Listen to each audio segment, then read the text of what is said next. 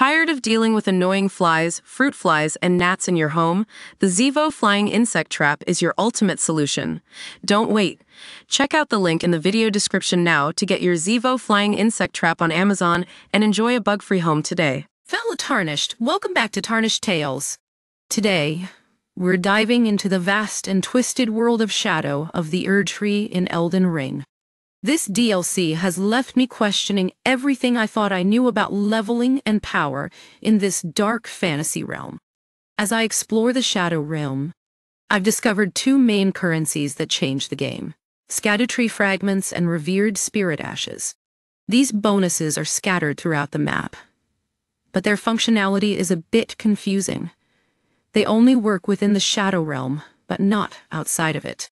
This design seems to prevent one shotting, ensuring that even level 400 super tarnished players won't blow through this DLC too easily. Now I know what you're thinking. How hard is Shadow of the Erdtree? The answer is it depends on who you are. I found myself struggling with some bosses later in the game, like a certain torchhead giant that's got me stumped to this day. But at the same time, I've been able to tackle most story bosses without too much trouble.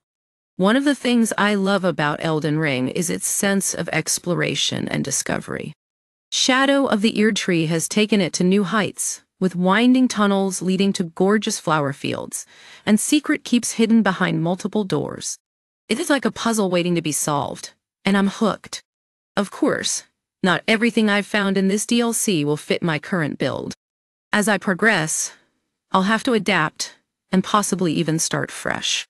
It's a reminder that Elden Ring is all about experimentation and self-discovery, and Shadow of the Erdtree is no exception.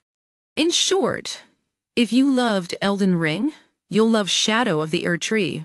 This DLC may not change the fundamental loops at play in the original game, but it does take them to new heights. With its deceptively dense map and endless mysteries, I'm excited to see what everyone else will discover once they get their hands on it. That's all for today, folks. Thanks for joining me on Tarnished Tales. Don't forget to follow me on Twitter, Threads, YouTube, and Instagram.